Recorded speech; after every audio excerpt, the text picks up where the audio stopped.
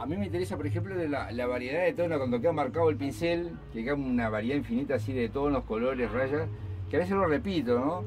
Y después hay como un recaique también de la figura a través del esgrafiado. Es como, después de, tener la figura plasmada en pintura y recortada, me interesa como un recorte eh, que resalte más y ahí viene el esgrafiado, que lo hago con el cabo pincel, a veces con un clavo, con algo.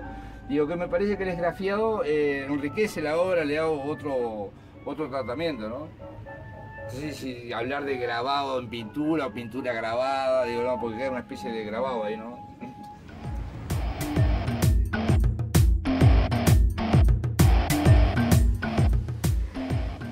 Una mujer pájaro de 4 metros, que fue la que saqué el, cuarto premio en el, en el encuentro este de Simposio Internacional de Escultura de Cajabamba, Perú.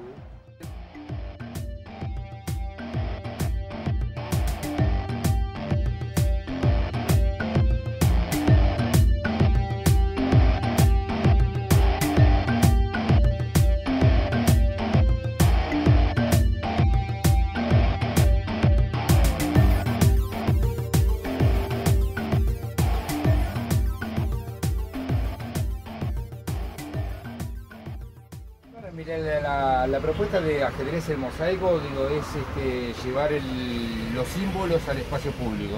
Por acá podrás ver una especie de guerrero. Acá tenemos un, como un arcaísmo femenino.